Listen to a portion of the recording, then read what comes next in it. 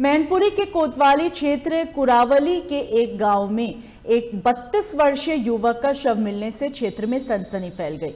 युवक बीती रात अचानक गायब हुआ, जिसके सिर में गोली लगने से संदिग्ध परिस्थितियों में मौत हो गई, जबकि शहर के किनारे झाड़ियों के बीच युवक का एक और, एक पैर शीशम के पेड़ से रस्सी से बंधा मिला।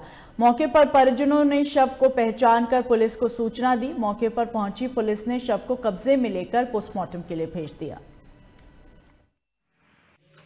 पाँच तारीख को एक घटना हुई थी सनसनीखेज घटना, जिसमें हस्बैंड वाइफ सिरसागंज की तरफ़ से मैनपुरी की तरफ़ आ रहे थे और उसमें एक गाड़ी से आ रहे थे। उसी में बदमाशों के द्वारा उनको जो है रोका गया। सनसनीखेज घटना असलहे के बल पर की गई और उनके गहने लूटे गए और साथ में उनकी मोटरसाइकिल भी छीन ली गई थी। इसमें करहल पुलिस और सलांस की पूरी टीम लगी थी, तभी से ट्रैक किया गया इसको। और ट्रैकिंग के बाद फिर इसमें गौरव, दीपेश और सूरज।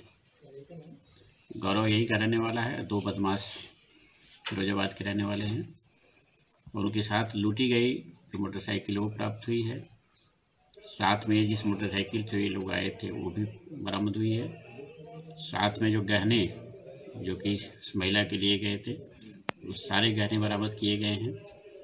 और इन अभियुक्तों का एक लंबा आपराधिक इतिहास है। इससे पहले फिरोजाबाद के भी एका थाना में एक तीन सौ पंचानवे का मुकदमा हुआ था, जिसमें वांटेड चल रहे थे। साथ में तीन सौ छप्पन आई पी सी कोतवाली क्षेत्र में कुछ दिन पहले कायम हुआ था। उसमें भी ये घटना होना स्वीकार किया है। तो ये काफ़ी दिन से ये फिरोजाबाद की पुलिस इसको ट्रैक कर रही थी। लेकिन फॉर्चुनेटली मैनपुरी पुलिस ने इसको दबोच लिया है। और सारी टीम को हम लोग दस हज़ार रुपये के नाम भी दे रहे हैं। एक अच्छी सफलता के लिए।